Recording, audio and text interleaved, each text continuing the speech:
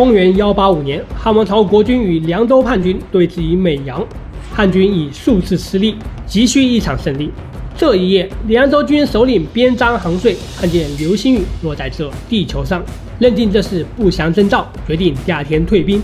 汉军一名将领敏锐地觉察到了战机。第二天，这名将领与同僚果断击袭，而叛军恰好处于收拾东西回家的混乱状态。汉军大破敌军，斩数千人。但其实说起来，这名姓董名卓的汉将本就是凉州出身，其部下也大都是羌胡人。他这一支兵团日后反倒是凉州军阀的最大代表。也正是董卓兵团，直接打乱了东汉王朝的中枢。加速了汉末群雄时代的到来。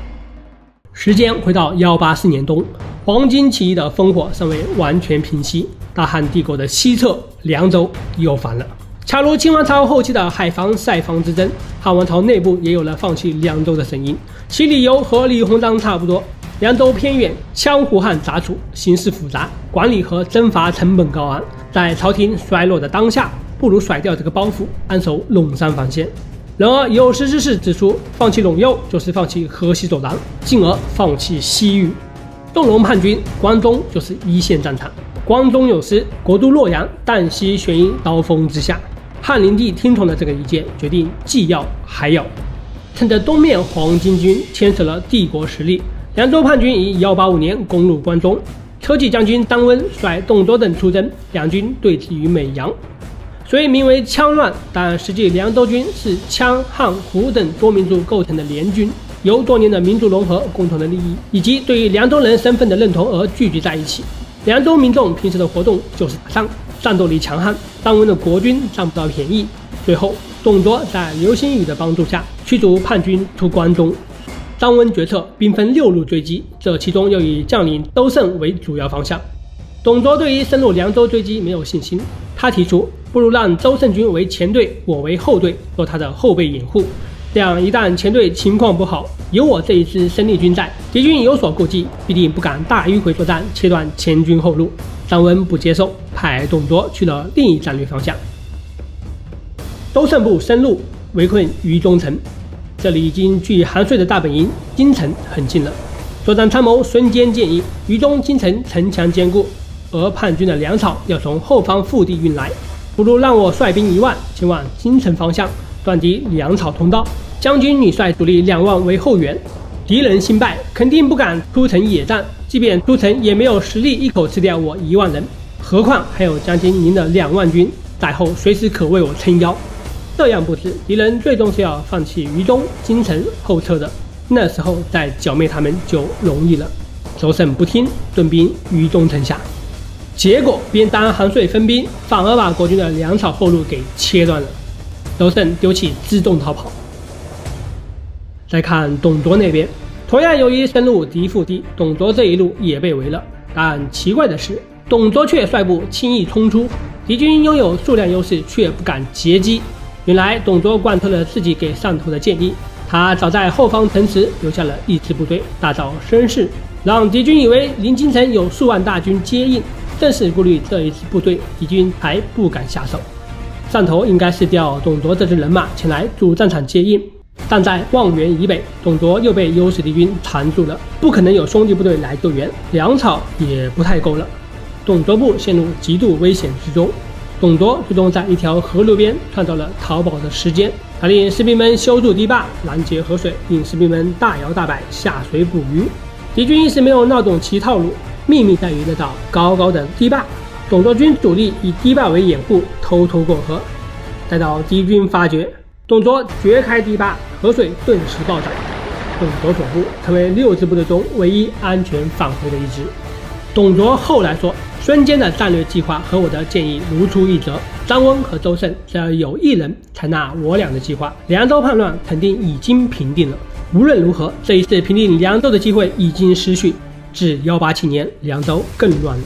大小军阀林立，其中以韩遂、宋建、马腾三股势力为首。幺八八年，凉州军阀联合围困陈仓，汉廷派出了实战最强将领黄甫松，并指令董卓为其副手，合兵四万前往破敌。两位主将发生了争议，董卓建议急速进兵救援陈仓，黄甫松不同意，他认为陈仓坚固，日后的诸葛亮都攻不下，这些人算哪根葱？等他们打累了，我们再进兵。凉州军阀果然攻陈仓八十多天而不克，决定退回凉州。黄甫松决策立即进兵追击此久战疲惫之敌，董卓反对，归师勿遏，穷寇莫追。黄甫松反对，我避其锐气，及其惰归。敌人久战疲惫，不是从容撤退的归师，也不是尚有斗志的穷寇。这一战，汉军大胜，斩首万余。细究董卓这几战，狭隘观点，董卓军事才能绝对是高的，否则朝廷多次评判就不会一再选择他领军了。但其才能的发挥，全部围绕保存实力的原则。当初六路追击，提出自己做后队。横昌之战初期，因为背靠长安作战，建议急速进兵，败了大概率也可以逃脱。待到叛军撤退，追击则有可能战于敌军主场，危险。呃，当然这个是看怎么说哈。未屡胜先屡败，不应该吗？但综合董卓日后的作为，他只不过是典型的军阀作风而已。在保存实力大原则指导下的董卓凉州兵团，呈现出既有机遇时刻敢于钻空子抓战机的一面，又有制胜时刻胆略不足和无法更进一步的缺点。凉州军阀元气大伤，不得不缩头当乌龟，而朝廷也暂时无力征伐剿灭他们。总的态势来看呢，只要中央政府不出大的变故，优势将越来越大。凉州军阀集团看来是没有什么机会了。此期间，朝廷多次下诏提升董卓的官职，以待明升暗降，让董卓离开军队。董卓以各种理由拒绝和拖延，保存这一支私产兵团是立身的根本，就差一个机会了。机会出现在幺八九年，这一段大家比较熟了哈。大将军何进以宦官集团争权，本来董卓只是一个跑龙套的，带兵去洛阳转一圈，假造反，为大将军壮壮声势，就可以领盒饭回家了。但没想到导演何进死了，宦官集团也全部覆灭，困扰汉朝的外戚宦官之争就此终结。而皇帝还是个孩子啊，中央出现了巨大的权力真空，这泼天的富贵泼到董卓身上来了。当然也不能说完全是这样，机会总是留给有准备的人。这同样也离不开董卓的个人奋斗。当接到剧本角色的时候呢，董卓正驻军运城盆地，他迅速渡河，占据了陕县，卡死了连通两京的小罕古道。是情况变化，董卓有多种选择，获取山西为根据地。当时山西并没有强力的军队，丁原吕布的山西部队此时在洛阳，而董卓自己本身就是朝廷任命的并州牧。或西进长安，占据关中。关中此时只有黄甫松率三万兵力在防御凉州军阀的一线。董卓说起来本就是凉州实力，在凉州威望蛮高，关系蛮多。西进长安，联络凉州同行，站稳关中，机会是很大的。当然，最好的情况是东进洛阳，直取帝国中枢，继而联络凉州同行，割据山川形胜的两京，背靠凉州，效仿秦国故事。最好的情况出现了。董卓入京后的一系列动作，我们之前有视频讲过，在此不再赘述。反正吞并丁原、吕布以及手足的军队后，董卓已经胖得不行了。董卓以天子的名义征召黄甫松，此时曹操袁绍的讨董大军已成，可黄甫松仍旧乖乖放下了兵权，不消说。帝国这三万精兵又归于董卓麾下，天下强军大棒在手，凉州军阀马腾、韩遂等纷纷表示归附。董卓大哥是我们凉州的好榜样，我们准备跟董大哥混。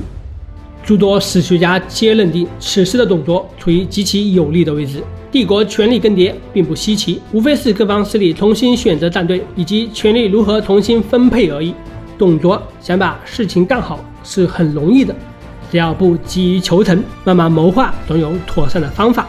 可董卓很急，把上到皇亲国戚。中到既有官僚集团，下到两京的士族豪强，乃至于数量庞大的两京百姓，全他妈给得罪光了。综合来看，董卓压根就没有把两京当成自家根据地来建设，这是单纯的军事观点，只破坏而不建设。前面我们说过，在保存实力大原则指导下的董卓凉州兵团，呈现出既有机遇时刻敢于钻空子抓战机的一面，又有制胜时刻胆略不足而无法更进一步的缺点。曹操、袁绍的讨董联军形成，对伊洛盆地形成了三面包围。这仗还没开打，董卓先露怯了，马上提出迁都长安，洛阳坚壁清野。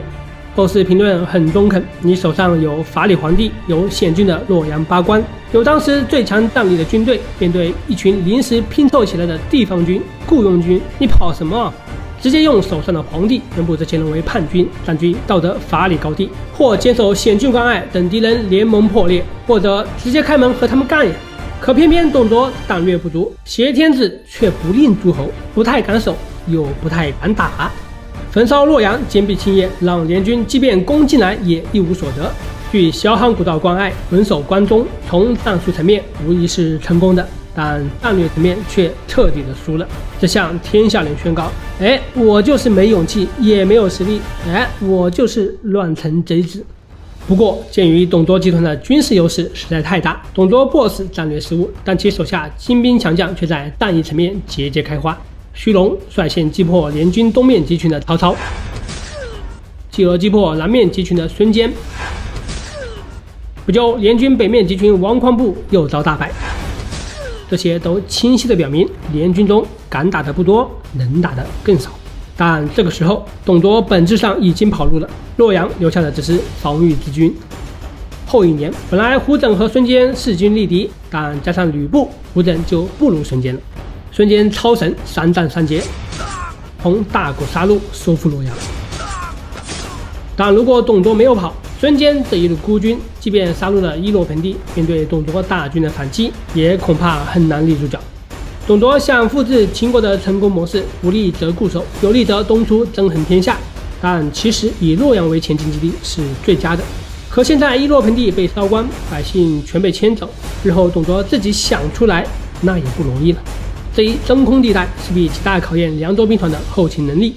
看来董卓这是打算龟缩在关中当土财主了。公元幺九二年，吕布刺董卓，董卓兵团一分为三，长安一带的徐龙、胡轸、吕布等归附朝廷，李傕、郭汜率军远征在洛阳一带。董卓女婿牛辅在萧杭古道上的陕县，李傕、郭汜想解散军队逃跑，被贾诩劝阻，反攻长安。牛辅想解散军队逃跑，且真这么干了，被部下枭首。凉州军再度掌控了朝堂。但这时候的凉州集团已四分五裂，不能再成气候了。李傕、郭汜、马腾、韩遂等争斗不已，恰如袁世凯死后无人约束的北洋军阀。董卓一度抓住了机会，可事实证明，凉州集团打仗很行，可他董卓不太行。在陶董大战中，日后争衡天下的诸侯们在战争中学习战争，曹操脱颖而出。从某种层面上来讲，敖超曹老板甚至从董卓这个大反派身上学到了如何成功，因为董卓展示了如何才能成功失败。董卓成功挟天子，但令诸侯的戏没演好。曹老板日后改进了这一策略。董卓，天子应该这样玩才对呀！你怎么握着帝国最高解释权，还把自己玩成了人人喊打呢？董卓迁走洛阳周边所有的百姓，让曾经的战略重地伊洛盆地变得一文不值。曹老板学到了这一招，日后的三国对垒中，汉中大战，曹操迁走汉中所有百姓，让蜀汉即便有诸葛亮掌舵，也无力对抗秦种脆弱的后勤。在长江以北搞无人区，让孙吴登陆之后，不得不维系一个高成本的后勤线。